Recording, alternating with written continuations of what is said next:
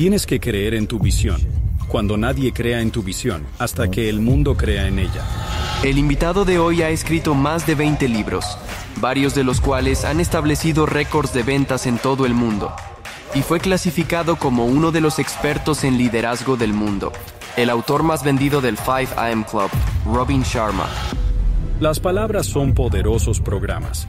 Hablamos de programación. El antídoto a la limitación, escasez, miedo, es empezar a reprogramarte con términos de abundancia. Colocan semillas en el subconsciente que determinan comportamientos. Me alejaré del ruido para escuchar la señal y crearé algo tan bello, magistral y disruptivo que al regresar y lanzarlo, lo notarás. La gente distingue la calidad a kilómetros y les encanta. ¿Qué es lo más grande que has tenido que dejar atrás en tu vida? Siempre haces muchas preguntas, más difíciles que cualquier otra persona. Hablemos de los destacados hábitos de las personas súper ricas. Por favor, ¿puedes guiarnos a través de ellos? Lo primero que diría es,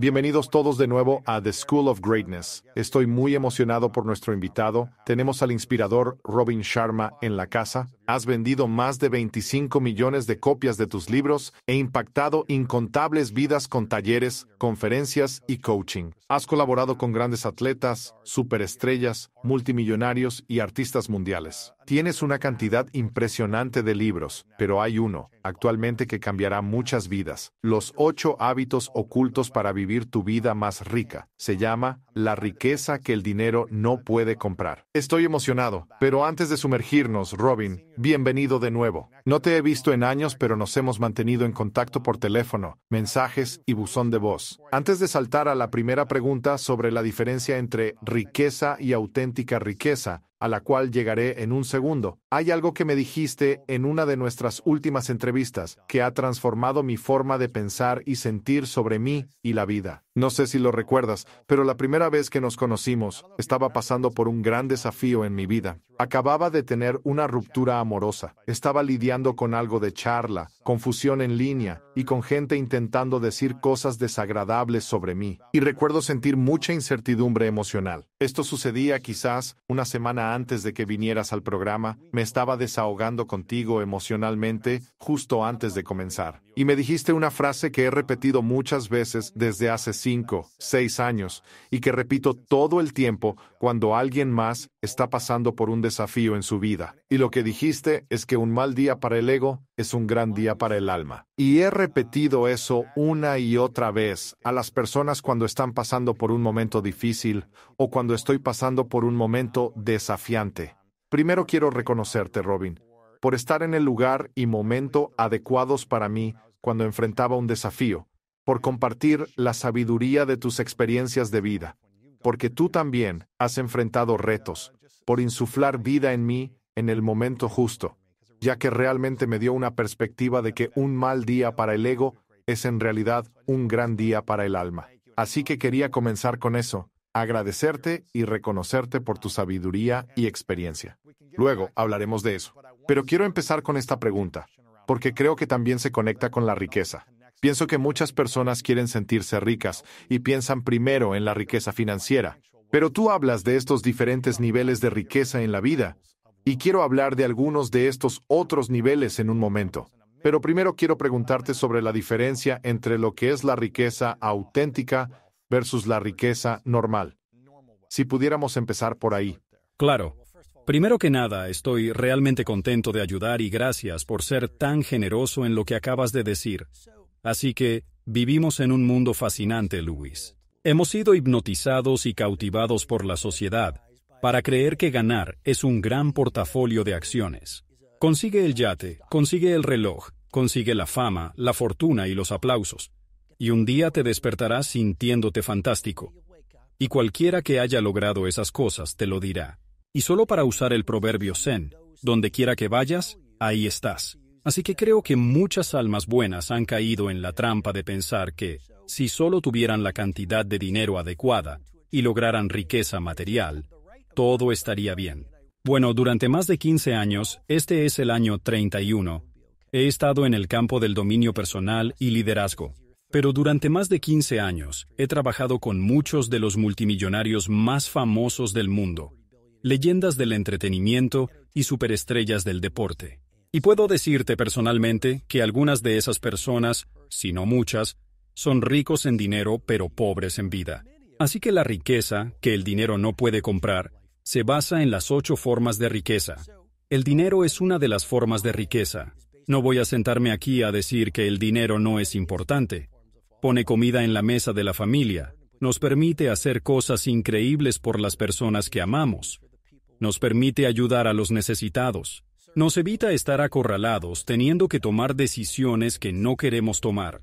Pero hay otras siete formas de riqueza que cuando las perseguimos, encontramos riqueza auténtica, verdaderas riquezas versus fortuna financiera, donde nos volvemos exitosos materialmente, pero vacíos de corazón. Y creo que en esta era de las redes sociales hay tantas personas. Quiero decir, somos tribales. Tenemos un instinto neurobiológico de seguir a la multitud. Tenemos neuronas espejo, Así que hacemos lo que hace la masa de gente. Pero ¿cuál es el punto de subir una montaña, gastando nuestros mejores años en ello, solo para darnos cuenta al final de una vida de un cuarto de siglo, que subimos la montaña equivocada? Lo que intento hacer es mostrarles a las personas una guía o un marco de referencia de la verdadera riqueza, que tiene ocho formas, no solo dinero. ¿Cuál es la forma de riqueza más influyente aparte del dinero que la gente está pasando por alto hoy en día? Creo firmemente que, aparte de ganar dinero, ofrecer un servicio excepcional es increíblemente importante. Pero si realmente quieres ser un gran emprendedor, por ejemplo, debes enfocarte monomaníacamente en distribuir tanto valor tangible como sea posible a todos los seres humanos. Recuérdalo, nuestro trabajo apasionante como emprendedores es introducir magia y maravillas al mercado. Y cuando introduces magia, incluso la más sutil, en un mercado que celebra constantemente la mediocridad, te destacas, te diferencias de todos los demás y creas seguidores fanáticos. Pero el servicio no es solo esto. También es recordar que en esta época de crisis múltiple, muy grave, ¿sabes? La gente necesita con urgencia ser vista, el servicio es incluso escuchar pacientemente a alguien. Es ver a alguien en necesidad y ayudarles de alguna manera efectiva. El servicio es simplemente intentar ser lo más útil posible en cada momento. Así que pienso, fielmente, que el servicio es una muy importante forma de riqueza. Mahatma Gandhi lo dijo hermosamente. Perderte en el servicio a los demás es encontrarte a ti mismo. Por lo tanto, todos buscamos encontrarnos a nosotros mismos, encontrar el cumplimiento, la felicidad. Esa es la paradoja. Pero encontramos esa felicidad, encontramos esa riqueza cuando nos damos a los demás. Es una paradoja asombrosa. En el libro, hablo de una conversación que tuve en Barcelona. No sé por qué siempre termino haciendo amistad con los porteros de los hoteles. Su nombre era Alberto.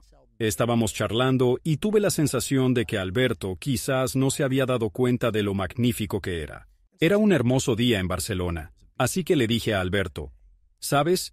Si levantas el ánimo a 100 personas cada día siendo positivo y cortés, y les das obsequios de amabilidad y positividad, al final del año son más de 3.000 personas. Al final de una década son 30.000 personas. Al final de una vida son 300.000 personas. Le dije, puedes tener un impacto enorme. Creo que el servicio sería lo primero. Creo que la familia es algo de lo que nos perdemos. Creo que la aventura es algo que también nos perdemos. Un oficio es una forma de riqueza. Creo que nos hemos perdido algunos. Ahora, mencionaste el servicio como una de las principales formas de riqueza. ¿Cuál dirías que es el porcentaje de personas en la sociedad actual en general que están careciendo de servicio? Parece ser una sociedad muy centrada en sí misma, o al menos eso es lo que se ve en las redes sociales, como mencionaste a veces. Pero ¿cuál crees que es el porcentaje de personas que están careciendo de servicio y que se enfocan más en sí mismas en el mundo de hoy? La manera en que yo respondería a eso, Luis, es que si estamos atrapados en la escasez, entonces no vamos a representar la generosidad. Tú conoces esto también. Lo enseñas en tus libros y en tu metodología, nuestra relación primaria con nosotros mismos determina todas las demás relaciones. Y por eso la primera forma de riqueza, en el campamento de dinero de riqueza, es el crecimiento. Desarrollarte a ti mismo, construir un carácter fuerte, conocer tus elementos heroicos, acceder a tu sabiduría, saber qué tan fuerte eres, conocer tus dones y talentos, saber cuán amoroso puedes ser, es una forma de riqueza. Quiero decir, la intimidad con tu maestría es una forma de riqueza. Y la razón por la que hice esto, la primera forma de riqueza, es porque la relación contigo mismo determina todas las demás relaciones. Y así si estamos atrapados en la escasez, y desafortunadamente, muchas personas están atrapadas en la escasez, entonces quizás no puedas estar al servicio, quizás no seas útil, quizás digamos que no estás construyendo una app o un negocio, quizás no apliques lo que yo llamo la obsesión del valor 10 veces mayor. Otorga a tus clientes diez veces el valor que tienen derecho a esperar, para que vengan en masa a tu puerta. Si observas la mayoría de los negocios, piensan, ¿cómo puedo ofrecer lo mínimo y recibir lo máximo? Y eso no es una receta para una base global de seguidores fanáticos. Si alguien se siente atascado en la escasez y quiere ser más generoso sin tener mucho que ofrecer, y además está endeudado, estresado y abrumado, ¿Qué debería hacer para transformar su vida hacia la abundancia? Vaya, yo diría sin dudas el MVP. Ya sabes, como un atleta comprometido, eso significa el jugador más valioso. También es un acrónimo para meditación, visualización y oración. Hago lo mejor que puedo cada día. Definitivamente no soy un gurú, y tengo mucho trabajo que hacer por mí mismo, pero he avanzado mucho durante estos 25 años de trabajar profundamente en mí. Y en estos días generalmente paso de las 04, 00 a las 4.45 en MVP, meditación, visualización y oración. Y realmente funciona. Una inseguridad latente. Quieres superar intensamente una escasez que te molesta. Meditas seriamente sobre ello. Te visualizas siendo generoso, valiente, más fuerte, e irradiando bondad y fuerza en un mundo de oscuridad emergente.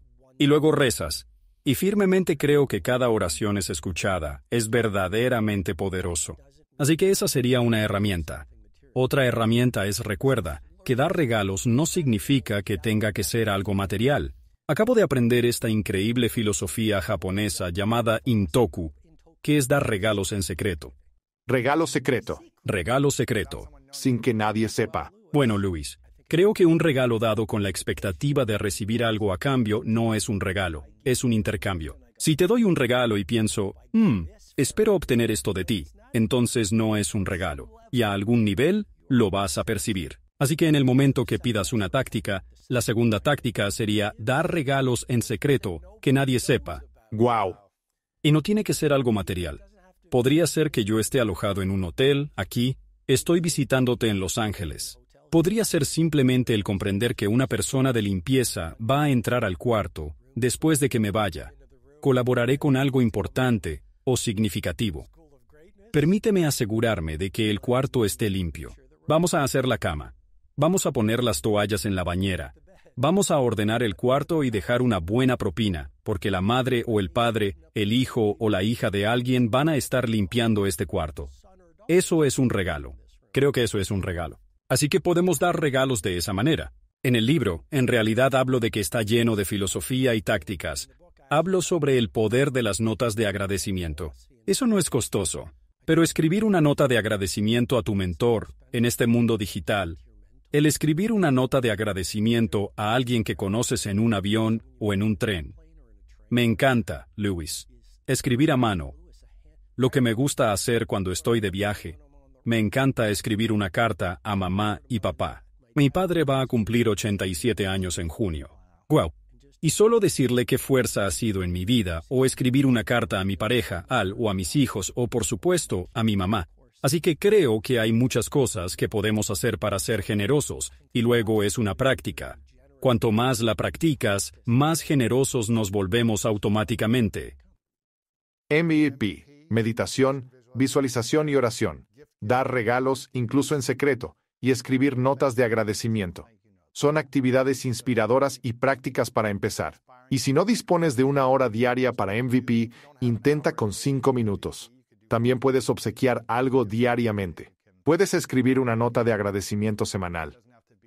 No debe consumir todo tu tiempo, pero amo este proceso de salir de uno mismo y pensar en los demás. Creo que es un gran paso para pasar de una mente egoísta o de escasez a una de abundancia, oportunidades y sincronías en tu vida. Creo que poca gente reflexiona lo suficiente sobre esto.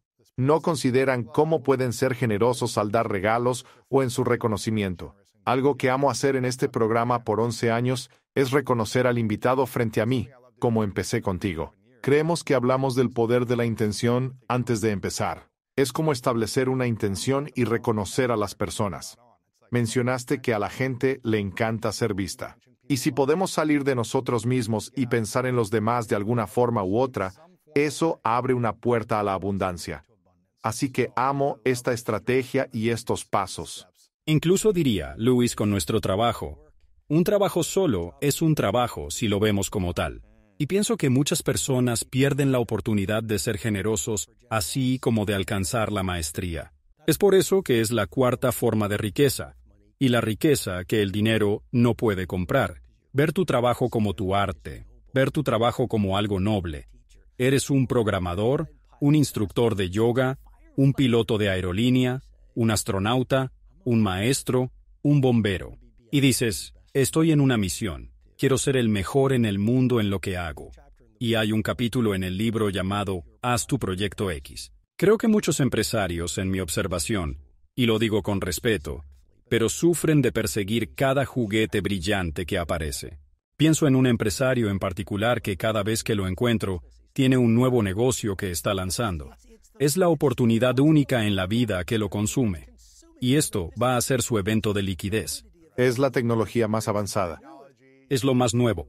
Y lo que quiero decir cuando hablo del concepto de Proyecto X es que en un mundo trepidante, en el que publicamos tanto contenido cada día y nos apuramos constantemente para producir muchas cosas con mediocridad, preferiría que seas una de esas almas excepcionales que se toma su tiempo, que tal vez se toma un año o tres años, como por ejemplo Luis C.K., de quien hablo en mi libro, o incluso el Duomo en Milán, donde se tardaron 600 años para terminarlo y perfeccionarlo.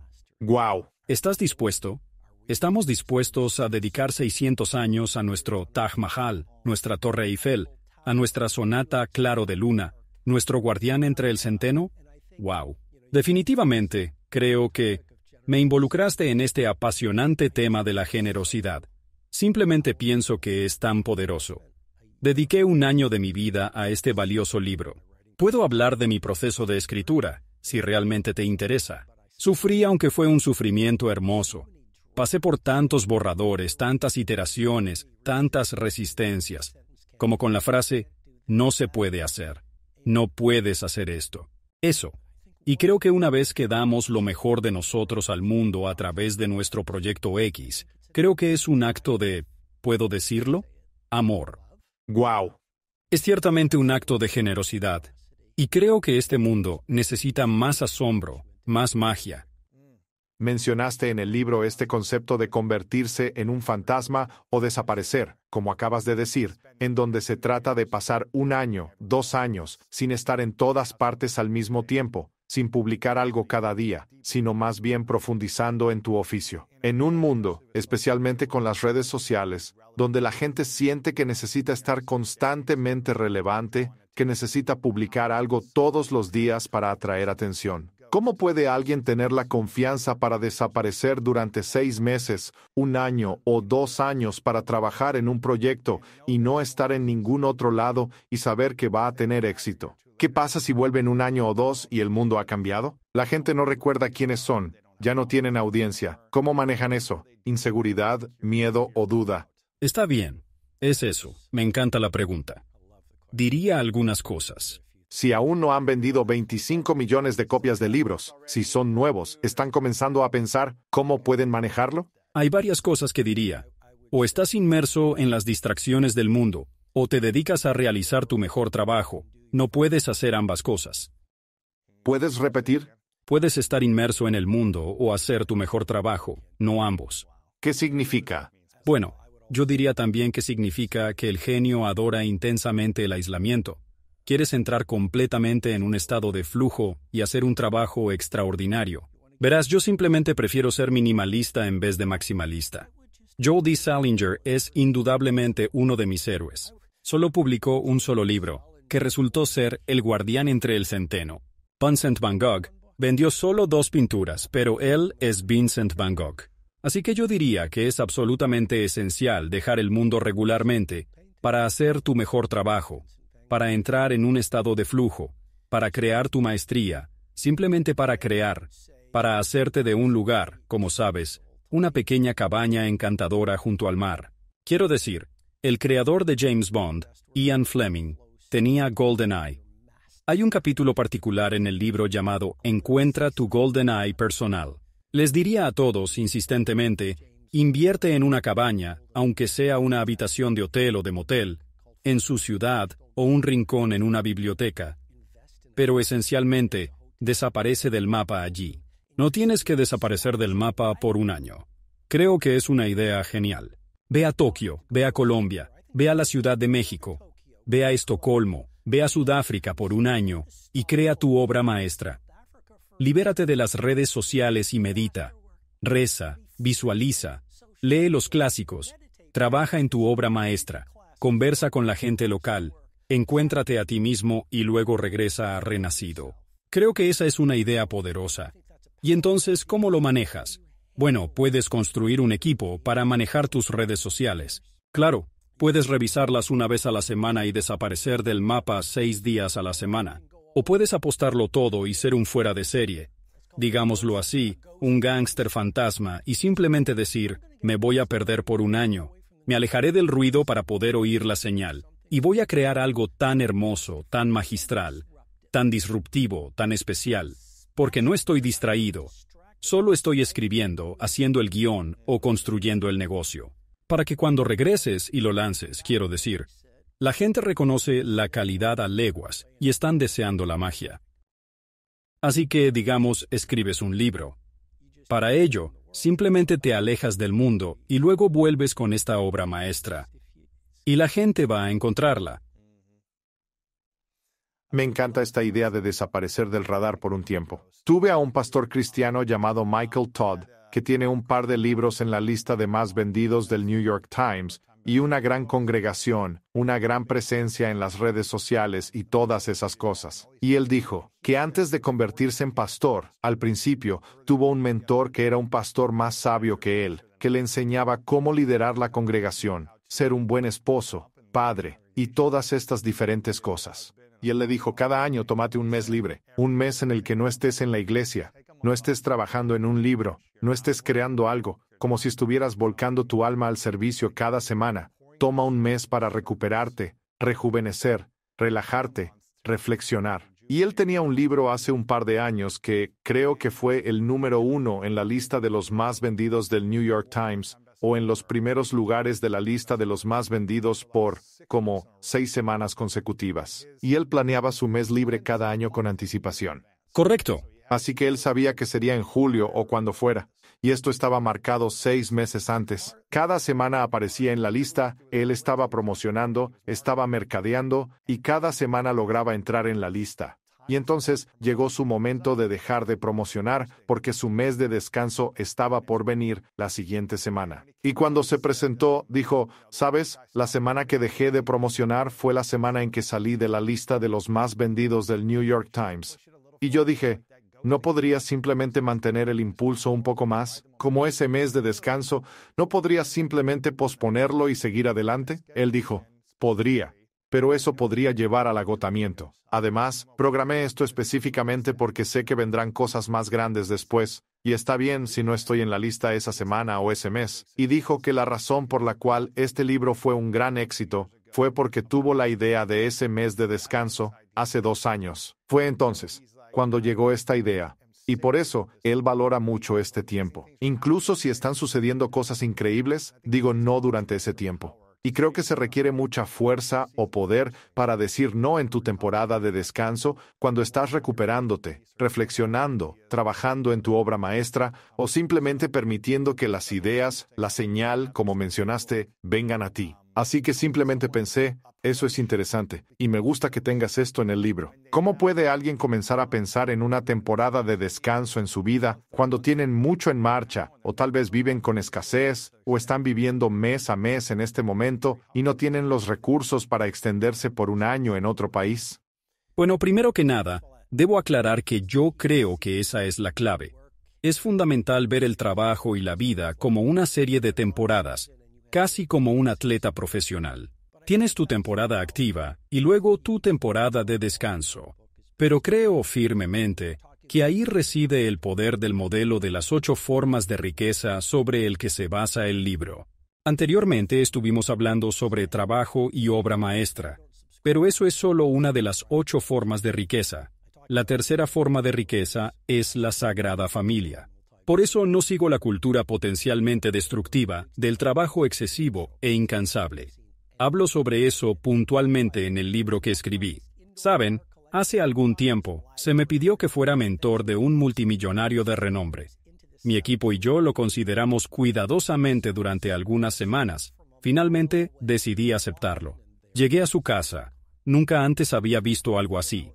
Pasé por su impresionante colección de arte, pasé también por su extensa colección de autos de interior, pasé además por su fastuosa biblioteca, finalmente bajé estas escaleras hacia un pasaje subterráneo intrigante. Pude oler el penetrante humo del cigarro incluso a kilómetros de distancia. Entré y ahí estaba él, el icono. Así que hablamos durante unas horas. Me contó, compartió su historia y cómo construyó los negocios, el imperio, él es el emperador. Y yo dije, cuéntame sobre tu familia, ¿con quién lo compartes? Largo silencio, y dijo, no, yo, ya sabes, estoy completamente solo. Comparto eso porque la tercera forma de riqueza es la familia. Si tienes una vida familiar rica, hemos hablado sobre relaciones en nuestras conversaciones pasadas. Ya sabes, si tienes una rica relación de pareja, eso es una riqueza que el dinero no puede comprar. Si tienes una rica relación con, en mi caso, también con mis hijos, Colby y Bianca, y con mis padres. Los vi en Toronto la otra noche. Como dije, papá cumplirá 87 en junio. Mamá todavía es una Titan. Hay un capítulo en el libro de esa vez que mi madre se enfrentó a una pandilla de motociclistas, y tener buenos amigos con los que disfrutas estar. Digo, eso también es una forma de riqueza que el dinero no puede comprar. Entonces sí, Produce una obra maestra y sí, haz un gran trabajo. Pero también recuerda las otras formas de riqueza, porque, ya sabes, ¿cuál es el punto de tener mucho dinero y terminar ahí solo? Ahí va, cito a Bob Marley, él dijo, la riqueza son las posesiones. Yo no tengo ese tipo de riqueza. Mi riqueza es la vida. La familia, creo, es algo de lo que mucha gente se pierde. Creo que muchas personas predican que la familia es lo primero pero donde ponen su tiempo y atención no es en la familia, como ciertas personas que conozco.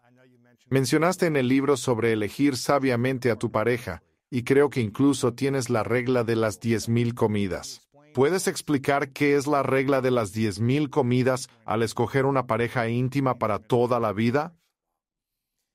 Así que estaba leyendo tranquilamente el Financial Times y, casualmente, leí sobre algo interesante tienen esta sección especial cada semana, que la llaman Comer con fulano de tal. En la versión más reciente, entrevistaron a Ayesha Bardags, o Bardeg, creo, no estoy seguro. Resulta que ella es una de las principales y más reputadas abogadas de divorcio en el Reino Unido. Esta profesional trabaja con futbolistas, estrellas de cine y magnates, incluso con músicos. Ciertamente, ella ha visto muchas situaciones difíciles y numerosas rupturas. Le pidieron que explicara. ¿Cómo explicarías o qué dirías que hace una gran relación? Su primera respuesta fue dormitorios separados. Y su segunda respuesta fueron diez mil cenas. Luego le preguntaron nuevamente, ¿a qué te refieres con diez mil cenas? Y ella dijo, bueno, la belleza se desvanecerá eventualmente, el deseo puede disminuir con el tiempo. Pero si puedes verte teniendo diez mil cenas con esa persona, aférrate fuertemente a ella, porque el gran amor es realmente difícil de encontrar. Wow. Simplemente pienso, quiero decir, sé que has encontrado a alguien muy especial y honestamente estoy muy feliz por ti. Gracias. Y definitivamente te lo mereces. He visto tu trabajo y cómo tu podcast con estas entrevistas maravillosas ha despegado a lo largo de los años, además de tus libros y la influencia que tienes. Genial. No podría haberle pasado a alguien mejor. Gracias. No podría pasar a mejor persona. Gracias. Estoy profundamente agradecido por tener una increíble pareja de vida. Y honestamente, realmente creo que, ya sea como creador de contenido, líder de un movimiento o emprendedor, es demasiado fácil quedarte atrapado en la monótona rutina del trabajo duro. No estoy diciendo que la ambición no sea importante. Es un combustible. Todos queremos ganar. Todos queremos hacer cosas hermosas en nuestras vidas. Creo que es realmente espiritual y gratificante materializar tus talentos y perseguir ardientemente, servir al mayor número de personas posible. Eso es asombroso. Dicho esto, cuando nuestra vida familiar es estable, cuando nuestro hogar es pacífico y cuando tenemos a alguien especial con quien compartir nuestras victorias y quizás nuestras derrotas, somos mucho mejores en el trabajo. Por eso, esa sólida fundación familiar, esa tercera forma de riqueza, es increíblemente importante. Y a medida que envejezco, he acumulado ya algunos años, pero sabes, Al tiene una abuela, le llamamos Nona, y cumplirá 96 este mes. Cuando tenía 90, hicimos una gran fiesta para ella. Y le dije, Nona, ¿qué es lo más importante?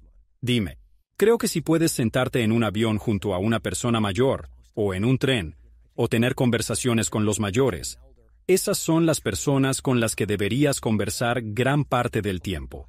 Y le pregunté, ¿qué es lo más importante? Y ella dijo, la familia. ¡Guau! A menudo ignoramos otras formas de bienestar familiar y crecimiento personal. Estoy aprendiendo, leyendo, escuchando podcasts, haciendo terapias de sudor, practicando Reiki, escribiendo un diario y creciendo día con día. A menudo no vemos eso como enriquecimiento, pero creo que eso realmente es la verdadera riqueza. Eso es hermoso. Es hermoso. Sabes, estos hábitos son cosas que todos podemos empezar a implementar para sentirnos más ricos en nuestra vida. Pero siento que la gente se queda atrapada en, sabes, uno de los hábitos que es el aspecto financiero. ¿Por qué crees que la gente se queda atrapada solo en este aspecto y piensa, bueno, tengo que resolver esto primero y luego puedo empezar a tener una familia, luego puedo empezar a ponerme en forma, luego puedo crecer, trabajar en mi arte y viajar, tener estas aventuras? Una vez que esté seguro y estable financieramente, entonces puedo empezar a hacer algunas de esas cosas. ¿Cuál crees que es la trampa más grande del éxito material?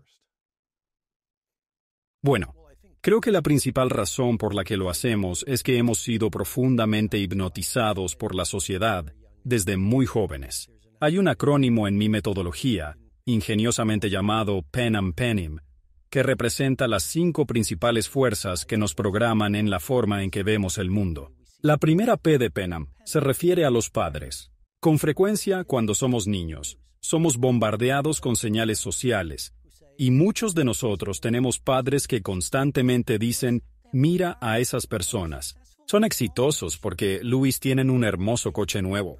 O ciertamente son exitosos, Solo mira la membresía del prestigioso club de golf o esa persona allí que definitivamente lo logró. Acaba de ganar una considerable cantidad de dinero. ¡Wow! Realmente son exitosos.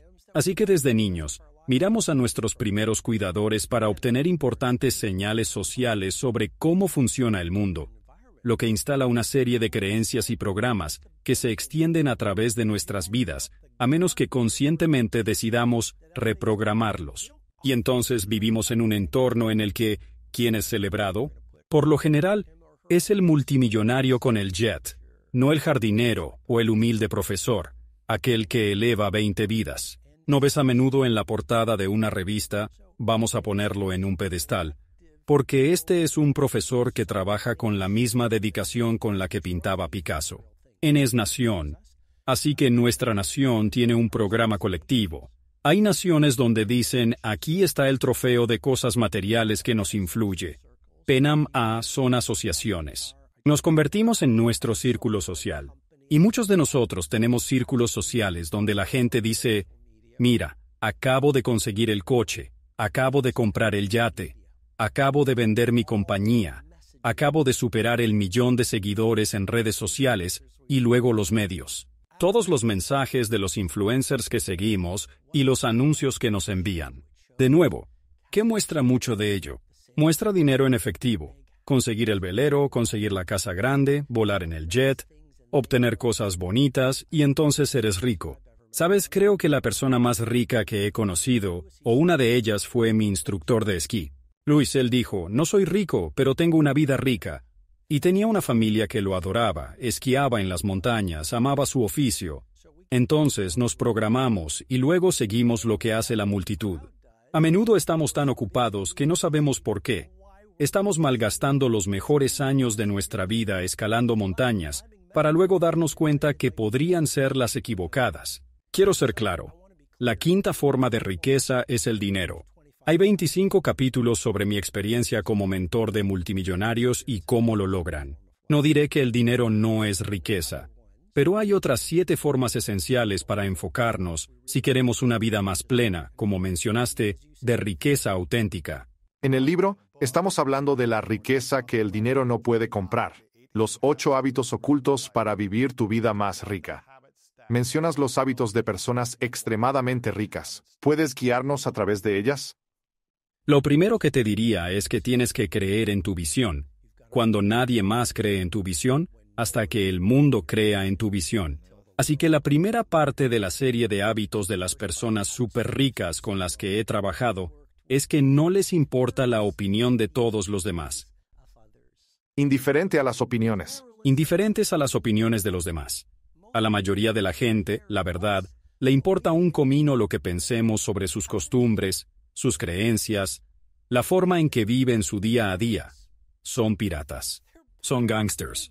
Y creo que la mayoría de nosotros somos tan educados, estamos tan conectados con la conciencia. Si alguien dice que es una idea tonta para tu bienestar personal, o si quieres encontrar a esa persona ideal con quien pasar el resto de tu vida, o incluso si quieres irte a vivir a Tokio y desaparecer por un año entero, te preguntan, ¿estás loco?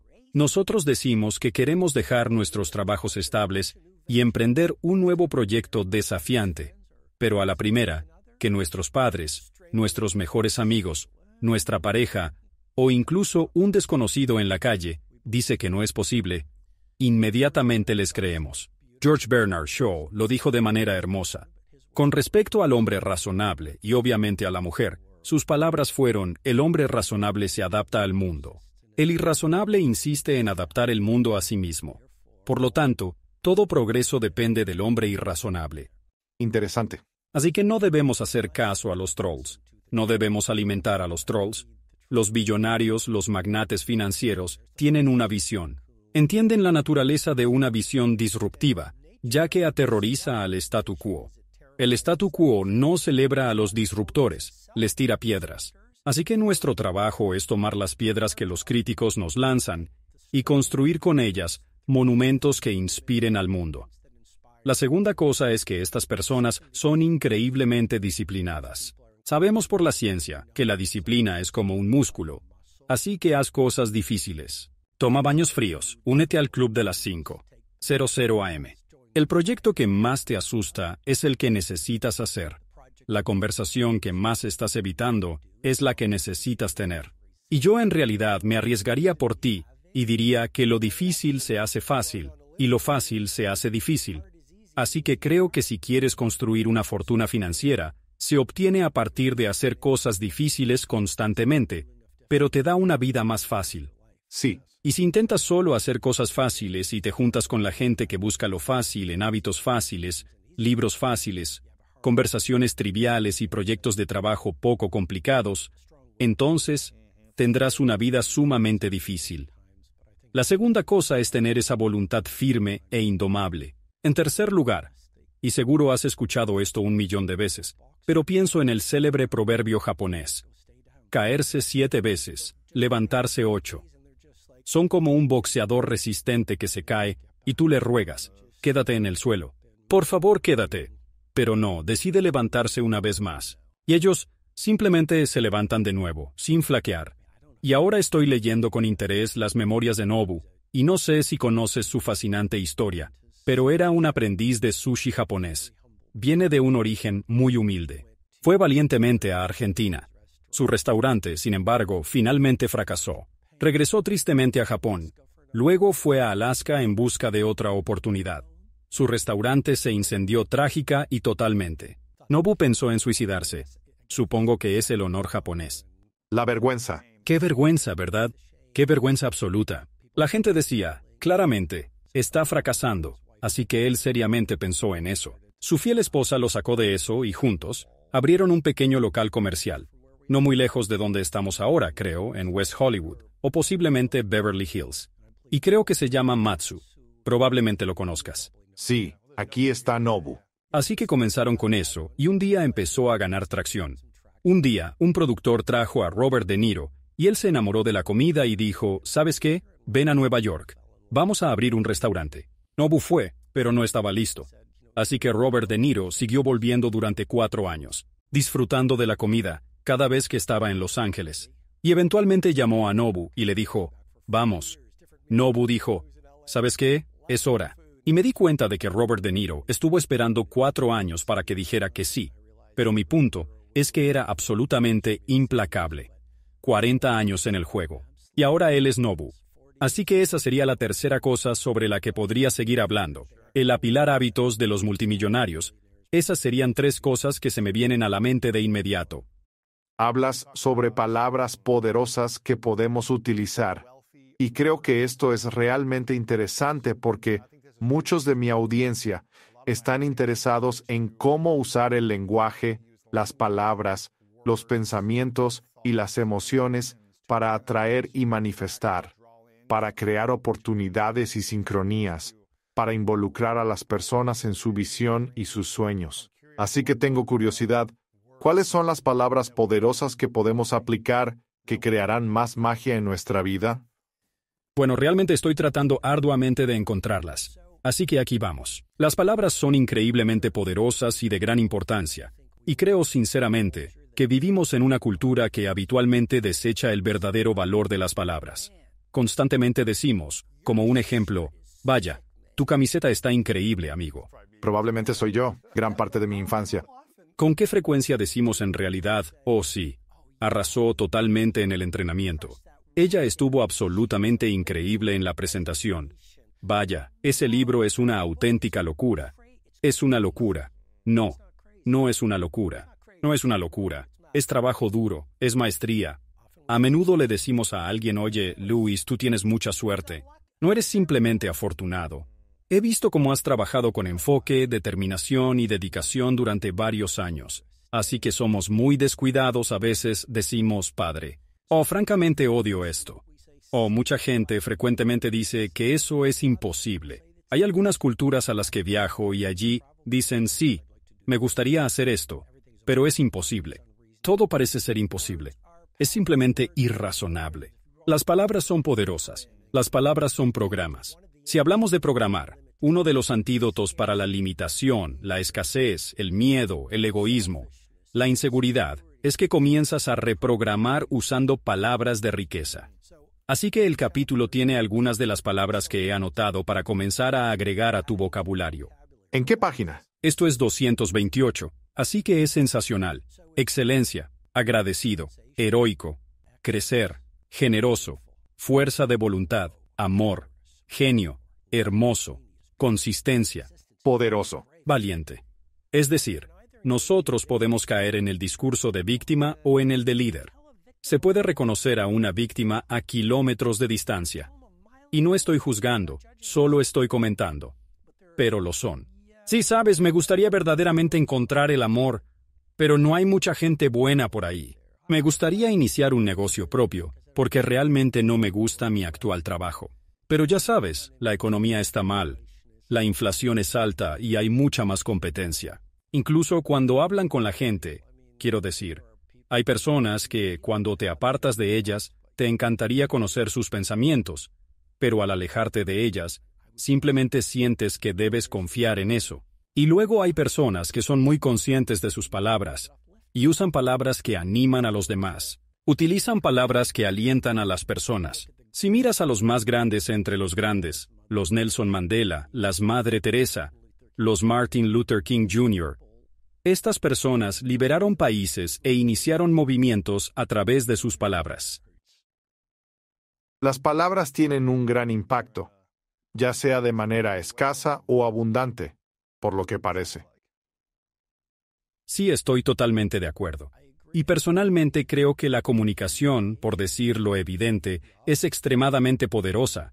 Puedes transformar a alguien en una simple conversación, a través de la comunicación, la escritura, el arte de contar historias. Creo que también eso es absolutamente muy poderoso.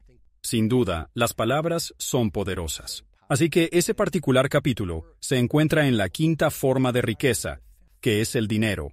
Y una vez que empezamos a desplegar conscientemente palabras poderosas en nuestra escritura, en nuestro hablar, en nuestros discursos, en nuestras conversaciones, entonces comenzamos a redefinir de manera activa nuestra propia identidad. Y nuestros ingresos e impactos siempre reflejan fielmente nuestra identidad propia. Debo decir eso de nuevo, porque creo que es realmente muy importante. Nuestros ingresos e impacto siempre reflejan nuestra identidad propia. ¿Y qué conforma nuestra identidad personal? Bueno, PENIM, las cinco fuerzas de PENNAM, nuestra programación parental, nuestro entorno o ecosistema, la nación en la que vivimos, nuestras asociaciones, por eso la sexta forma de riqueza es la comunidad. Nuestras asociaciones. Si estás con madres dramáticas, padres de crisis, vampiros de energía, ladrones de sueños, no vas a ser una persona que ve posibilidades en todo. ¿Quieres vivir? Estar con personas cuyas vidas quieras vivir. Si quieres ser un atleta maestro, rodéate de los mejores atletas. Tu círculo social es muy poderoso. Y si eres la persona más inteligente, la más rápida de tu barrio, muévete a un nuevo barrio. Entonces, ¿qué compone nuestra identidad propia? Las cinco fuerzas de Penham que mencioné. Lo que compone nuestra identidad son los libros que leemos. Lo que compone nuestra identidad son los comportamientos. Si hacemos cosas difíciles, si nos acercamos a las cosas que nos asustan, si buscamos cada oportunidad para ser suficientemente útiles, servir y hacer del mundo un lugar más luminoso, si somos auténticos y vivimos nuestros valores, todas esas cosas forman nuestra identidad propia y nos permiten reconfigurar nuestro ser si no somos las personas que queremos ser. Simplemente estoy pensando en alguien que podría estar observando o escuchando y diciendo, ¿de qué habla Robin? Riqueza. Esto parece palabras. Vamos, se trata de actuar. Es sobre tomar acción. Así es como te haces rico. Decir palabras no me enriquecerá ni mejorará mi vida, pero entiendo que afirmas que las palabras forjan nuestra identidad y hablar como víctimas o líderes, ingresos e impacto derivan de nuestra autoidentidad y las palabras que usamos, las cuales también influyen en ella. Definitivamente diría que sí. Lo primero que quiero decir es que no estoy diciendo que la ejecución no sea esencial. Ofrezco una herramienta vital para construir nuestra versión más fuerte. Seré el primero en declarar que idear sin ejecutar es simplemente una alucinación. Seré el primero en decir que una visión sin una implementación planificada es oro de tontos. Sabes, hay mucho en el libro sobre trabajar duro. Creo firmemente que el descanso no es un lujo, es una necesidad absoluta. He hablado extensamente sobre la importancia de la recuperación en mi trabajo, los ciclos gemelos del rendimiento de élite. Incluso lo mencioné explícitamente en mi libro El Club de las 5 C0 AM. El sueño es un arma secreta, sin duda alguna. Dicho esto, creo que el trabajo duro tiene mala reputación estos días. Y sinceramente, no conozco a ningún titán en los negocios, el deporte o la vida que no invierta el tiempo necesario. No se logra la maestría sin esfuerzo. No puedes alcanzar la maestría sin esfuerzo. Y si me permites, quiero compartir algo. Sé que conociste a Kobe en una de mis historias favoritas sobre él. Él dijo en cuanto al tema del esfuerzo, porque lo vimos en acción, o lo vimos y dijimos, wow, qué maestro. Y eso es lo que seduce. Los vemos en el apogeo de su gloria y pensamos que nacieron así, y no vemos la historia detrás. Y él dijo, ¿sabes cuando entré a la NBA? Me di cuenta de que muchas personas entraban a la NBA. No querían ser los mejores del mundo. Simplemente entraron y dijeron, estoy aquí, y comenzaron a festejar y a divertirse. Y él dijo, me di cuenta de que si me levantaba a las 400. Hacía ejercicio desde las 500.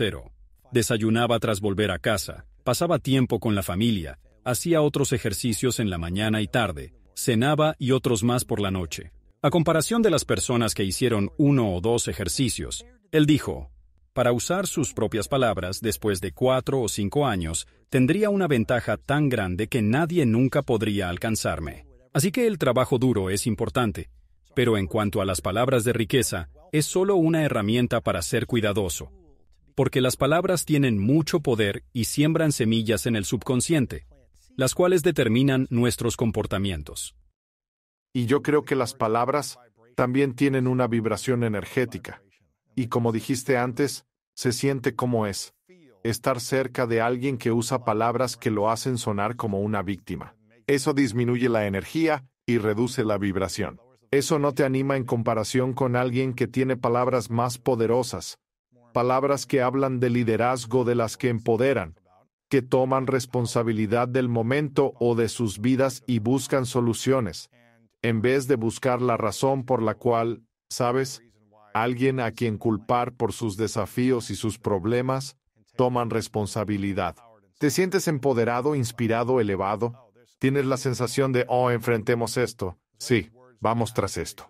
Así que creo que las palabras sí importan mucho, y definitivamente deberíamos ser intencionados acerca de las palabras que usamos. Hablando de palabras y comunicación, sabes, mencionaste como muchos de los grandes líderes y aquellos de los que hablamos o recordamos que han pasado hace mucho, guiaron con su estilo de comunicación de manera poderosa. Sabes, cuando pienso en eso, pienso en esta idea de la habilidad de involucrar a la gente en una visión más grande que uno mismo. ¿Qué piensas sobre involucrar? ¿O el secreto para involucrar a una persona o millones de personas en una causa, una misión, una visión más grande que tú, que suena loca o fuera de lo común? ¿Cómo enrolamos a la gente en nuestro sueño? Me encanta. Primero que todo, yo personalmente diría, sueña en grande, empieza pequeño, pero comienza ya. En segundo lugar, diría, ¿cómo construyes un movimiento global? Una conversación importante. Así que, un apretón de manos a la vez, una profunda conversación a la vez. Si estás tratando de construir un movimiento en línea, cada único mensaje directo importa. Deja un mensaje de voz si puedes. Nunca olvides quién pone la comida en la mesa de la familia cada día. Entonces, una relación a la vez, un agradecimiento a la vez es, creo, cómo construyes un movimiento global de forma gradual. Y realmente creo que a medida que tu movimiento crece, miras tu movimiento evolucionar. Muchas personas que te siguen, respetan y confían en ti. Tienen sus propios movimientos, ya sea un movimiento masivo o un micromovimiento.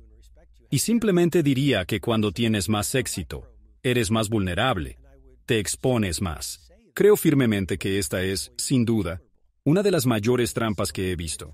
Dilo nuevamente. Cuando estás en la cima, eres más vulnerable.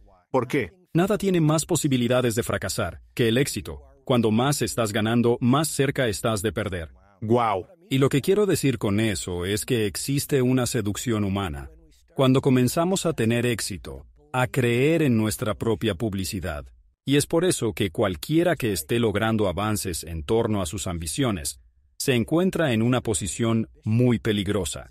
Y hay una metodología que enseño, la llamo paranoico pero optimista. ¿Qué es esto? Así que Andy Grove es el cofundador de Intel, y él incluso dijo que solo los paranoicos sobreviven. Ahora nadie está sugiriendo que debamos ser paranoicos. Eso es poco saludable, por supuesto, es solo la paranoia alegre.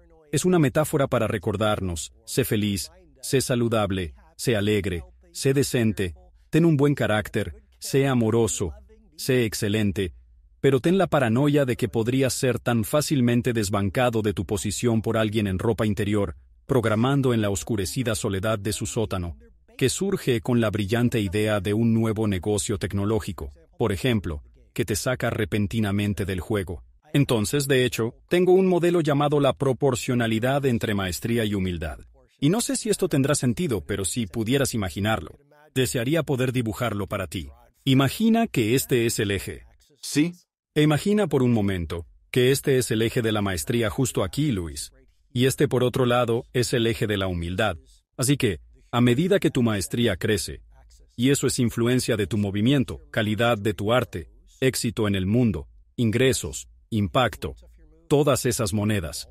Así que, a medida que tu maestría aumenta, sé una de esas personas excepcionales. Tu humildad crece, te vuelves más humilde. Extraño, ¿verdad? Por eso es que existe la proporcionalidad precisa entre maestría y humildad. A medida que tu maestría crece, debería aumentar también tu humildad. Ahora, si tú haces eso conscientemente, entonces vas a ser inolvidable. Porque personalmente pienso que el secreto para ser verdaderamente legendario es saber perdurar. Sí. Así que cualquiera puede ser un campeón, aunque es difícil, pero tienes la oportunidad. Las verdaderas leyendas quieren la dinastía, y solo puedes tener una dinastía si piensas en la longevidad. Es lo que yo creo. Hay un capítulo en el libro sobre esto que lo explica todo, pero yo diría que el más humilde gana. El humilde vence. Sí, y no solo refiriéndome a tener buenos modales. La humildad implica no perder la mentalidad de aprendiz. Conforme avanzas, ser humilde significa recordar un corazón agradecido hacia quienes te mantienen en el negocio. La humildad implica no perder nunca la mentalidad de principiante, asistir a conferencias y tras 25 años en el juego, sentarte en primera fila a tomar más notas que cualquier otro. Vaya, eso es muy grande. Y luego pienso en los titanes de la humanidad, los auténticos líderes servidores. Eran venerados en todo el mundo y tenían un corazón humilde. Estuve en la celda de Nelson Mandela. ¿Cómo cambió eso? Cambió mi vida. No sé si te interesaría hacerlo. ¿Cómo sería en mi vida eso de entrar en ese maravilloso espacio físico? La gente dice, oh, tuve un momento que cambió mi vida. La mayoría de las veces pensé, nunca he tenido un momento que me cambie la vida. La gente dice, leí ese libro, mi vida cambió. O fui a ese evento o concierto que cambió mi vida.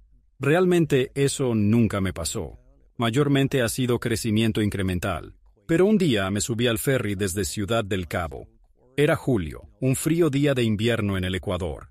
Vi la cantera de piedra caliza donde Nelson Mandela cortó piedra durante siete años.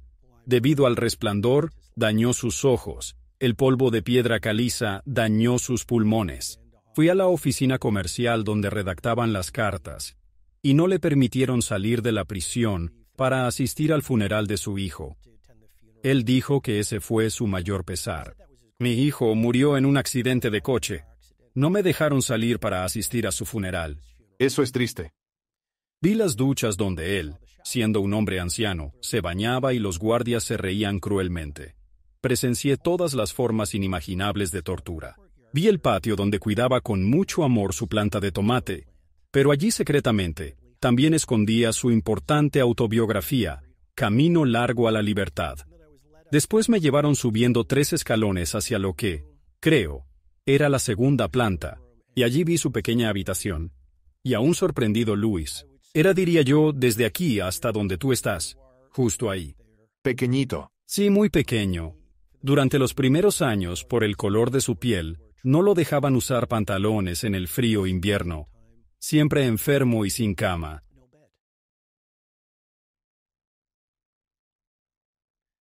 Y aún así, cuando finalmente fue liberado de la prisión, después de pasar agotadores 27 años, 18 de ellos en la isla Robén, él cordialmente invitó al carcelero a su inauguración. No solo eso, también extendió una invitación a cenar al fiscal que pidió la pena de muerte para él, y dijo con tranquila seguridad, Sabes, lo hice porque de lo contrario todavía estaría en prisión. Así que de todas las personas que conocí, realmente hay muchas humildes. Voy mucho a Sudáfrica, un país que amo profundamente. Te encantaría porque tienes que verlo. Te encantaría. Era justo. Oh, le pregunté al guía que me llevó, ¿cómo era él? Serví con él durante siete años. Entonces, ¿cómo era él? Lo primero que pensé de él fue que... Estaba recluso con él. Era un prisionero político. Y sirvió con Nelson Mandela. Sirvió con Nelson Mandela. Y al hablarlo, lo primero que dijo, una cosa que nunca lo olvidaré, dijo, Oh, ese hombre era un servidor humilde. Así que si pudiéramos aprender algo ahora, para los empresarios, atletas o quien sea, recordar la importancia de la humildad sigue siendo increíblemente importante. ¿Cómo podemos tener confianza y aún así ser un servidor humilde? ¿Cómo podemos liderar con confianza y lanzarnos a por ello, y no apagar nuestra luz en la búsqueda de nuestro arte y creación, comunicación y ejecución, y vivir con elegancia, poder y pasión, pero también ser un servidor humilde? ¿Cómo mantenemos ambos en equilibrio? Es difícil obtener confianza. Para la mayoría, confiar en las personas no es tan sencillo. Es difícil. Sí, verdaderamente no lo sé. Diría, bueno, vamos a analizar algunas tácticas más a fondo. Hay una herramienta de la que hablo bastante en el libro llamada el párrafo de preactuación. Es simplemente un párrafo que escribes conscientemente en tu diario cada mañana acerca de tu día ideal. Relacionado con eso, existen cuatro preguntas cruciales sobre las cuales escribo casi cada mañana. Esto podría ser táctico, y esperemos que resulte valioso para tu base global de seguidores. Número 1. ¿Por qué exactamente estoy agradecido? Una común. Número 2. ¿Dónde estoy ganando? Así que si nos enfocamos en pequeñas victorias, se construye con impulso y confianza. Nuestro cerebro tiene un sesgo negativo innato. Miramos las amenazas en lugar de enfocarnos en nuestras victorias personalizadas. Así que al enfocarnos deliberadamente, al hacerte esa pregunta vital, ¿dónde estoy ganando? Entrenas tu cerebro para enfocarse en el progreso que mayormente descuidamos, lo cual construye confianza, genera energía y nos mantiene esperanzados. La tercera pregunta que me hago. Tengo la sensación de que te gustará esta. Entonces, ¿qué debería dejar ir hoy? Podría ser alguien que te hirió profundamente. Podría ser una pérdida, un problema de negocios, una inseguridad que te está molestando, Estás simplemente frustrado por algo. Así que déjalo ir. Y la pregunta final que me hago es, ¿qué haría de hoy un día ideal?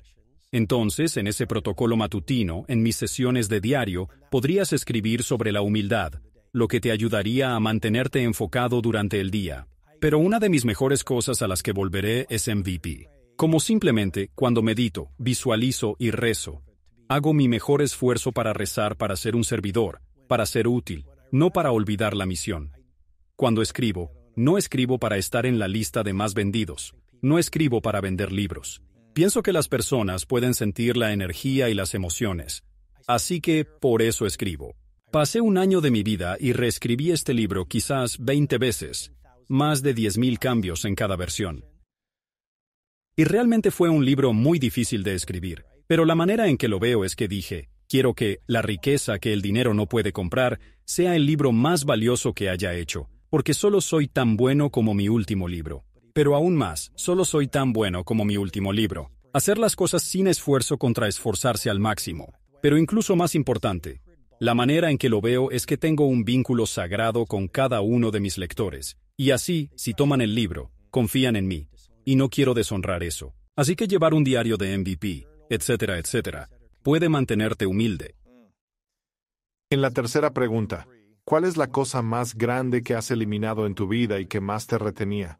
Vaya, de todos los que me han entrevistado, tú siempre haces las preguntas más difíciles. Sinceramente. Yo diría que has pasado por mucho. Has estado en negocios, relaciones, la gente te ha traicionado, se han aprovechado de ti, sabes, cosas físicas que has tenido que dejar ir, emocionales, mentales. ¿Qué dirías que era lo que más te retenía en algún momento de tu vida, que al dejarlo ir, creaste un nivel de libertad que nunca antes habías tenido? Diría dos cosas importantes. En primer lugar, ha habido un número de gente que me ha lastimado con la que he tenido que trabajar mucho. No es fácil llegar a un lugar donde los quiero de lejos. Así que eso no significa que tengas que tenerlos siempre en tu vida. Es esa vieja idea común. La gente regresa a tu vida solo para ver si todavía eres ingenuo, ¿verdad? Y esa otra idea fresca, que yo personalmente creo que es muy buena. ¿Tengo razón? Hay temporadas en las que algunas personas entran notablemente en tu vida por una razón particular. Algunas personas entran solamente por una corta temporada, mientras que algunas personas entran para quedarse toda la vida. Hay un capítulo en el fascinante libro La riqueza que el dinero no puede comprar, que explica eficazmente mi filosofía al respecto. Dice que tus lastimadores son tus más grandes ayudantes. Y las personas que en realidad me han lastimado más fueron precisamente quienes me enseñaron el perdón, me introdujeron a cualquier sabiduría que poseo, me introdujeron a la fuerza, etcétera, etcétera. Así que eso sería algo de lo que he tenido que deshacerme. De la gente que me ha herido para llegar a un lugar de paz y perdón, donde me di cuenta, ¿sabes qué? Solo estaban haciendo lo mejor, a su manera. Estaban atrapados en la escasez y el miedo, y estaban solo haciendo lo mejor que podían. Y la forma en que se comportaban les parecía una gran idea en ese preciso momento. Y luego, la segunda cosa de la que he tenido que deshacerme, yo diría que no lo sé. A veces veo a esas personas que cuando las miras, tienes la sensación de que tienen una super confianza y casi me pregunto, ¿cómo hacen eso? Y sabes, provengo de padres inmigrantes, padres maravillosos, pero de orígenes sencillos. Y sabes, así soy yo. Soy una persona muy ordinaria. Así que tal vez deshacerme de algo de eso, simplemente. No sé si estoy siendo claro. Soy muy sencillo. Sí, aún todavía lidiar con ese sentimiento de ser sencillo y de tener un origen inmigrante, de sentir que no pertenecías o encajabas o lo que sea. Yo diría que eso es parte de ello. Ya sabes, la sensación de que no encajaba, Luchar con ese sentimiento de que eres de origen inmigrante o el sentimiento de que no perteneces o no encajas o algo así. Yo diría que este sentimiento es parte de ello, ya sabes. Sentir que no encajas. ¿En serio? Exactamente. Creo que aún, a menudo, tengo esa sensación hoy en día. ¿No fuiste bien recibido? Si me recibieron. Simplemente no sé si quería ser parte. Te entiendo. Sabes, simplemente yo Ando con los raros, los inadaptados, los excéntricos. Esas son las personas que elijo. Esas son las personas que más quiero y valoro. Amo profundamente a los artistas. Amo a las personas que ven el mundo de otra manera, con las que resueno. Y algunos de mis amigos más cercanos son simplemente peculiares. Son reales. Y sí, eso es exactamente lo que diría. Eso está genial. En la riqueza financiera hay cosas que el dinero no puede comprar. Tienes este concepto de vivir como si fuera tu último día. ¿Puedes explicar qué significa y cómo alguien podría utilizar esta filosofía en su vida hoy? Siempre que hablo intensamente sobre la ineludible mortalidad, la gente empieza a revolverse incómodamente en sus asientos, y a menudo dicen, no quiero ser pesimista, no pretendo hablar insistentemente de la muerte. Sin embargo, creo que la mortalidad, y quizá estoy en cierto modo canalizando a Marco Aurelio aquí, el gran emperador romano. Sí, pero él habló mucho de cómo, inevitablemente, todos terminamos hechos polvo. Habló largo y tendido acerca de todo el ruido y de nuestras vidas que pasamos persiguiendo estas cosas durante un amplio año en el calendario, porque a muchos de los emperadores se les nombraba un año en su honor. Y así, la última y la parte más relevante del libro, la octava forma de riqueza, es acerca del servicio. Así que hablo sobre la ayuda y cómo nosotros individualmente podemos servir para encontrar esa forma de riqueza interior y felicidad. Pero aún hay mucho más en la última sección sobre la brevedad de la vida. Hay un capítulo específico los tres últimos deseos de Alejandro Magno, donde les dijo suavemente a sus leales tenientes, ya saben, cuando finalmente muera, quiero que ocurran justo tres cosas. Número uno, quiero que los mejores médicos del mundo caminen solemnemente detrás de mi ataúd en el cortejo fúnebre. Número dos, quiero que mis preciosas esmeraldas, diamantes, oro y dinero se esparzan a lo largo del camino hacia el cementerio. Y número tres, Quiero que dejen mis manos abiertas para que todo el mundo pueda ver. Y uno muy osadamente dijo, Ya sabes, Alejandro, ¿por qué? Él dijo, Número uno, quiero que la gente vea toda la gran medicina que pude obtener. Él dijo, Quiero que todo el mundo vea que incluso los mejores médicos en el mundo no pueden ayudar a engañar a la muerte. ¡Guau! En segundo lugar, él claramente dijo que quiere que la gente vea que el dinero que se hace en el mundo permanece en el mundo. Y en tercer lugar, desea intensamente que toda la multitud sea testigo de sus manos abiertas para darse cuenta de que nacemos sin nada y morimos con las manos vacías. Dios mío. Y de nuevo, esto es pura perspectiva. Imagina en nuestro MVP, en nuestro diario cada mañana, mientras el resto del mundo está aún durmiendo, pensar en estas cosas profundamente. Y luego estamos en el mundo, construyendo diligentemente un negocio. Construimos la familia, construimos el amor, construimos la maestría, hacemos todas las cosas mundanas, pero aunque estamos en el mundo, no somos del mundo. Es cuando participas con los maestros. Estás en el mundo, estás haciendo cosas asombrosas. Estás encontrando riqueza mundana, pero no has encontrado la riqueza que el dinero no puede comprar. Porque estás en el mundo, pero no perteneces al mundo. Entonces, ¿por qué digo que pongas tu último día primero? Porque la intimidad con la mortalidad es una increíble fuente de enfoque. ¿Cómo? Espero vivir 30 años más. Hay un concepto del que hablo llamado mi filosofía de los 25 veranos. Si tengo suerte, me quedan 25 veranos en el planeta. Es loco pensarlo. Es un excelente ejercicio mental. 25 navidades, 25 cumpleaños más. Y así, Cuanto más te puedas conectar con la brevedad de la vida y recordar, voy a ser polvo. Todos vamos a convertirnos en polvo. Nadie me recordará. Solía hablar sobre el legado en mis libros hace 15 años. Ahora no creo en el legado. ¿A quién le importa el legado? Todo se trata del ego y tú no. Estaré para experimentarlo y disfrutarlo. Seré un montón de cenizas sobre la repisa de una chimenea, junto a trofeos de ligas menores de alguien. ¡Guau! ¿A quién le importa? Mi familia, mi familia. Mi familia me extrañará y quizás algunos lectores pensarán en mí. Pero ¿a quién le importa? Mira a todos los reyes y reinas. Nos entristecimos por ellos durante un mes, pero ahora no pensamos en ellos. Vaya. Entonces, ¿en qué deberíamos estar pensando en términos de legado? ¿Es una distracción o qué significa exactamente el legado para ti hoy? Creo que al pensar en el legado y cómo las generaciones futuras sabrán que estuvimos aquí, nuestro enfoque, nuestros corazones, nuestra atención, nuestro trabajo, nuestras vidas, se concentran en construir cada día de manera hermosa. Y lo interesante es que nuestros días son nuestra vida en miniatura, y a medida que vivimos cada día, forjamos una vida. Así que olvídate del legado. Haz cosas asombrosas o buenas hoy. Y la paradoja es que dejarás un legado. Vaya, es interesante. Acabo de cumplir 41 hace un par de días y al siguiente medité sobre la muerte, quizás durante unos 10 o 15 años en algún aspecto, pero me impactó.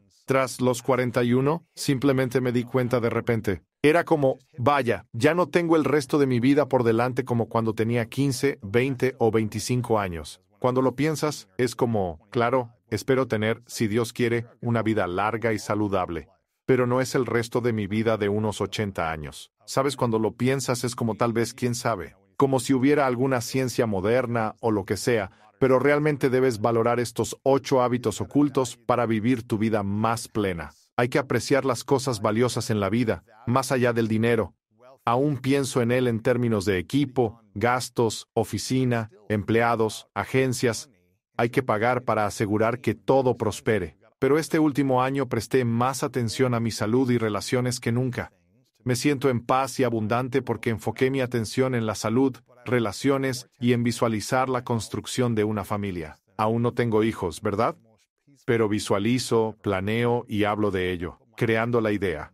Alguien me preguntó esta mañana, ¿cómo te sientes? Me gusta ser honesto con mis emociones. Donde la mayoría de las personas dicen que estoy bien o que estoy teniendo un gran día o las cosas están bien, me gusta decir exactamente cómo me siento. Tal vez no sé si eso es bueno o malo, pero como estoy en un buen momento ahora, o cuando te conocí la primera vez que te vi, a los 10 minutos, te dije, estoy teniendo muchas dificultades. Cuando dijiste, ¿cómo va tu día? Hace cinco o seis años, era como, en realidad estoy en una situación difícil y siento que la gente me ha abandonado y traicionado y realmente no sé. Me diste un buen consejo. Si no hubiera expresado mis sentimientos, no tendría la sabiduría que me brindaste y he aplicado los últimos cinco o seis años. No recordaría ese momento que proporcionó comprensiones que me hicieron decir, oh, esto es difícil ahora pero permíteme tener perspectiva en lugar de esperar para tenerla, sabiendo que cada reto vivido es realmente una de las mayores bendiciones para mi futuro. Al mirar atrás, estar lesionado o herido jugando al fútbol, sufrir rupturas dolorosas o sentir fracaso, algo bueno resultó de eso. Puede que haya tomado seis meses o años, pero de la adversidad surgieron riquezas. Y entonces, si no hubiera compartido cómo me sentía en ese momento, no habría tenido esa sabiduría que me diste. Y así pienso en invertir en esas ocho cosas de las que hablas, acerca de construir riqueza, la salud y las relaciones, son definitivamente dos de las cosas en las que más tiempo y atención pongo. Y entonces hoy alguien me preguntó,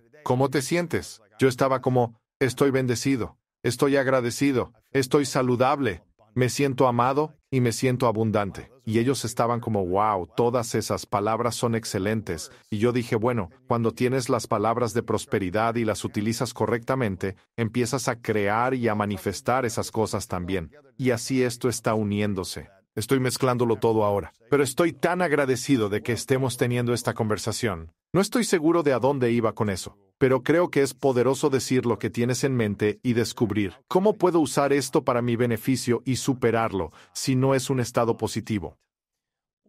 Lo que te escucho decir, Luis, es que, en primer lugar, estás en un lugar muy bueno, lo cual es realmente maravilloso. En segundo lugar, lo que escucho que dices es que usaste tanto tus triunfos como tus tragedias como impulsores y materia prima para tu aprendizaje.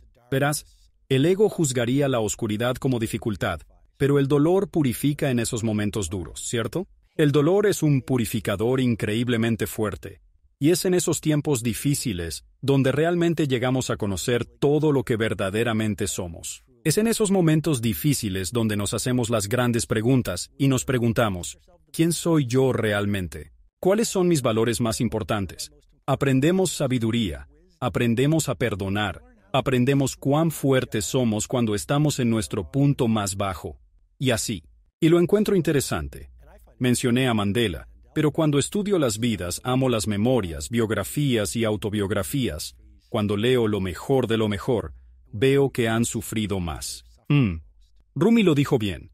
Dijo, sigue rompiendo tu corazón una y otra vez hasta que se abra. Wow. Así que si miras a la gente que creo que mencioné, Ayer fui entrevistado por un caballero muy interesante, John O'Cleary, y él. Quiero contar su historia correctamente, pero él era. Creo que de niño estuvo inmerso en un destructivo incendio y sufrió amputaciones y una verdadera tragedia. Pero cuando conversamos, simplemente se podía sentir la profunda humanidad en él. Aunque era una simple llamada digital, podía sentir claramente su humanidad resonando. Y así, Honestamente creo que cuando pasas por momentos extremadamente difíciles, lo que intento explicar es que todos tenemos un miedo latente y omnipresente a la muerte, y esto realmente nos limita enormemente. Pero cuando experimentas una tragedia devastadora y luego la superas, te das cuenta de que muy pocas cosas pueden realmente matarte, muy pocas cosas pueden romper tu espíritu. En mi vida, he estado en una tortuosa situación en la que estuve a punto de perderlo absolutamente todo. ¿Fue divertido pasar por todo eso? No fue miserable. Pero ahora estoy en paz con perderlo todo. Así que mencionaste algo. Creo que era sobre grandes líderes o individuos legendarios. Ellos se preocupan menos de las opiniones de los demás. Y creo que cuando pasas por algún tipo de trauma o prueba, dolor o sufrimiento, te das cuenta de que, Está bien, he pasado por lo peor, así que alguien que me juzgue, me compare o intente decir cosas malas sobre mí, no importa. Voy a perseguir lo que quiero. Voy a vivir la mejor vida posible porque casi lo perdí todo, o traté con algo mucho peor que esto. Y creo que mencionaste que algunas de las personas más felices son aquellas que han pasado por más dolor o sufrimiento y aprendieron a superarlo. Recientemente estaba leyendo una cita de Don Miller, que hablaba justamente sobre la idea de la narración de historias, que cada gran historia tiene un problema y un héroe que lo resuelve. De otra manera, no hay historia. ¿Sabes? No estoy diciendo que deberíamos dar la bienvenida a dolores horribles y momentos que amenacen la vida en nuestras vidas, pero los desafíos van a aparecer cuanto más vivamos la vida y persigamos las cosas que queremos. Y eso es lo que de alguna manera nos hace heroicos. Son los problemas que enfrentamos y cómo los superamos o resolvemos. Y simplemente adoro ese enfoque que tienes para enfrentar esto. Y tengo curiosidad, en esta etapa de tu vida, Tienes mucha más sabiduría que yo y más experiencia. ¿Cómo abordas la muerte ahora? Viendo, supongo que tienes amigos que han fallecido y que te eran cercanos o personas que conocías, más gente que probablemente haya pasado o tal vez tenido menos salud o cosas así. ¿Cómo abordas la vida y la muerte ahora? ¿En esta temporada? Podría decir que en este momento avanzo más ligero por el camino de la vida y pienso que lo que es verdaderamente más importante ahora se ve con mayor claridad. Cada vez que tengo la oportunidad de ver a mis queridos padres, por ejemplo, siempre me aseguro de celebrar su presencia. Y cuando llega el momento de despedirnos, como la reciente noche en la vibrante ciudad de Toronto, le di a mi amada mamá un abrazo increíble. Igual de emocionante a como se lo di a mi papá. Sí, así es. Creo que a medida que te haces mayor, Simplemente aprendes a valorar más la vida. Todavía quiero escribir muchos más libros. Estoy viajando constantemente. Me levanto temprano y todavía siento un gran entusiasmo por hacer lo que tanto amo en términos de mi carrera. Incluso ahora, todavía me considero un aventurero audaz y deseo ver el mundo, conocer diferentes culturas y vivir nuevas experiencias emocionantes. También hay, simplemente diría, una dulzura y una serenidad que viene con tener algunos años encima. Cosas que quizás me hubieran molestado o perturbado en el pasado, ya no me molestan tanto ahora. Simplemente comienzas a darte cuenta de que cada ser humano frente a ti tiene una historia que contar, una lección que enseñar y un sueño que compartir. Simplemente ahora, tengo mucho más tiempo libre para pasar un agradable rato con el taxista, tener una interesante y enriquecedora conversación con un completo desconocido. Así que sí, si tuvieras la oportunidad, definitivamente deberías regresar. A tus 30 o a principios de los 40, podrías decirte a ti mismo tres cosas para adoptar o dejar con el fin de prepararte para un mejor éxito. ¿Cuáles serían ahora esas tres cosas que le dirías a tu yo de 30 o 40 años o a cualquiera que hoy esté en esa etapa? Diría que es mucho mejor ser minimalista en vez de maximalista. Si observas a cualquier genio con los que he trabajado, ya sean genios de negocios, del deporte o en cualquier otra área, todos tienen una cosa en común. Hacen una cosa y solo una cosa de la mejor manera posible en el mundo. Así que diría, construye tu vida en torno a unas pocas cosas. Esa es la fuerza del marco de trabajo. En el vasto campo de la riqueza y el dinero, compara. Creo que hay ocho. Son como ocho Everest. Construye tu vida en torno a estos ocho Everest, y te garantizo que vivirás una vida increíble, no 50 cosas. Incluso en los negocios duros, creo firmemente que las personas que más tracción obtienen son las que se centran intensamente en una única idea.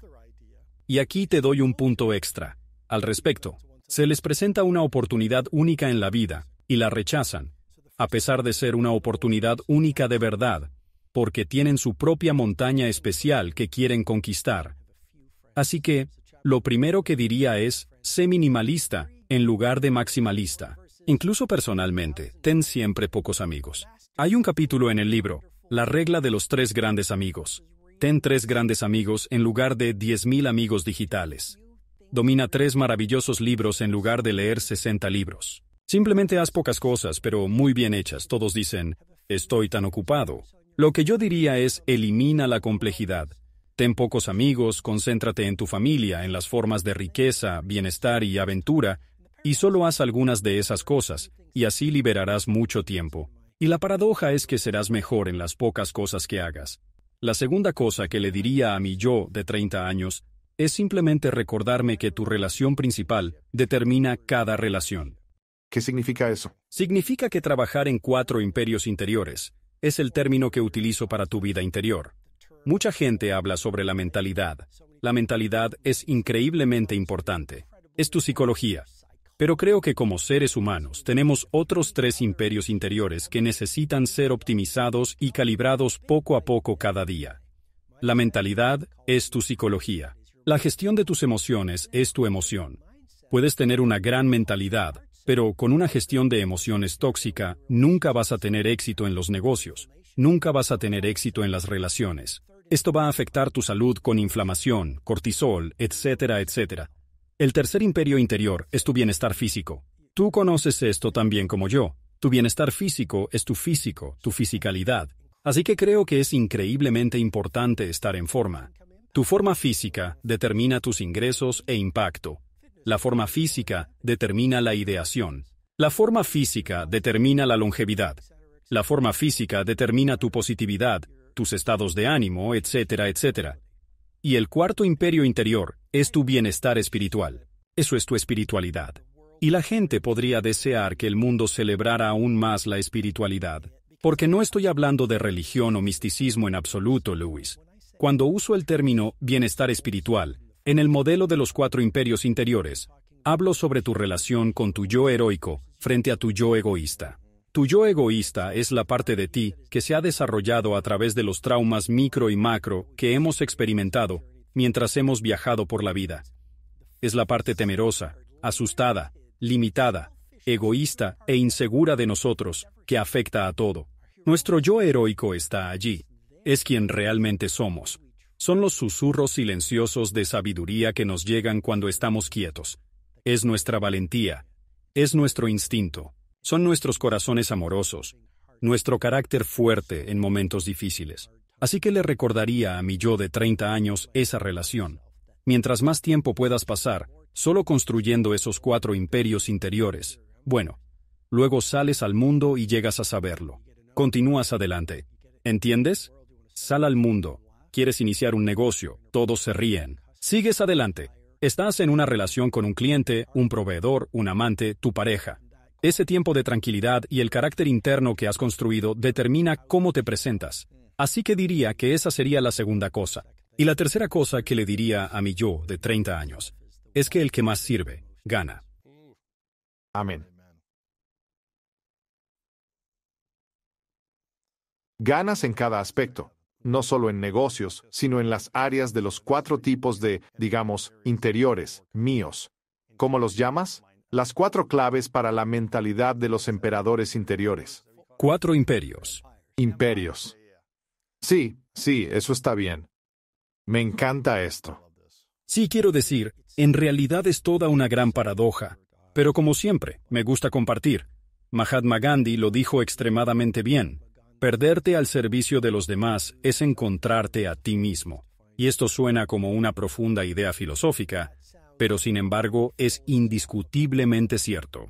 Al trabajar incansablemente en nosotros mismos para ser más útiles a la gente, para ser más valiosos para los demás, al ser más útiles a otras personas, en realidad nos encontramos a nosotros mismos y encontramos la verdadera felicidad. Y esa es una de las increíbles paradojas. El dinero es importante, eso es seguro. Es una de las ocho formas de riqueza de las que hablo en el libro pero no conozco a nadie que haya dicho, finalmente gané suficiente dinero y soy feliz. ¿Ves? Es como una rueda de hámster. Es un fastidio seguir subiendo. Nunca es suficiente. ¿Conoces a alguien? Quiero decir, me siento muy feliz con el negocio y el dinero que he ganado y ahorrado, porque me permite tener flexibilidad. Y creo que he sido inteligente durante los últimos 18 años, trabajando duro, ahorrando dinero, invirtiendo y reinvirtiendo en mí mismo y en las relaciones. Pero es que, no quiero dejar de ganar dinero, supongo. Así que quiero seguir generando y creando más para poder servir más. Pero me siento en paz y en armonía con donde me encuentro. Entonces, eso tiene sentido. Así que todavía quiero ganar más, hacer más. No es como si dijera, bueno, ya terminé. Pero sí, me siento en paz con lo que he creado hasta aquí. Entiendo. No lo digo a nadie, pero quiero hacer más. No se lo digo a nadie, pero aún quiero hacer más. No es para citar. Simplemente sugiero que es una de las ocho formas de riqueza. Quinta forma. Sí, es una forma de riqueza. No lo conviertas en tu prioridad máxima. Sí, sí, sí. Hazlo tu sirviente. Precioso. Creo que demasiada gente piensa que es algo. No lo es todo. Sí, ¿Cuál es el sentido de ser rico en dinero y pobre en vida? ¿Cuál es el sentido de tener todo el dinero del mundo y tener un corazón vacío y que no te gustes mucho a ti mismo y un hogar? lleno de cosas, pero no de amor. Vamos a la ciencia. La adaptación hedónica. Cualquier buen psicólogo positivo dirá que esto es el fenómeno humano, psicológicamente, de obtener lo que siempre hemos querido. Nos sentimos bien por ello aproximadamente una semana y luego la felicidad base se reinicia. Necesitamos más. Más. Esas son grandes lecciones para alguien entre 30 y 40 años. Tengo alrededor de 20 preguntas en mi lista que ni siquiera abordamos, pero asumo que encontraríamos muchas respuestas en este libro. La riqueza que el dinero no compra, los ocho hábitos ocultos para una vida plena. Quiero que la gente consiga una copia de esto para sus amigos. Creo que podrías leer este libro repetidamente, digiriendo algunos capítulos por vez y revisarlos varias veces para absorber todo lo esencial en tu vida, para sentirte en paz, abundante, feliz y saludable, y servir a tu misión y a quienes te rodean. Así que deseo que la gente obtenga este libro por mí. Esto fue tremendamente poderoso y quiero reconocerte otra vez, Robin, por tu energía, sabiduría, percepciones y dedicación. Desaparecer por un año en tu vida para sumergirte profundamente en esto. Has creado una obra maestra para muchos de nosotros. Tener el conocimiento desglosado en cosas que podemos entender y empezar a aplicar en nuestras vidas, sí tenemos el coraje de tomar las acciones. El conocimiento solo es útil si tomas la acción de implementarlo y aprenderlo tú mismo. Así que no solo leas esto, sino empieza a aplicar estas cosas poco a poco. Y empezarás a sentirte más rico en la vida más rica que jamás hayas tenido.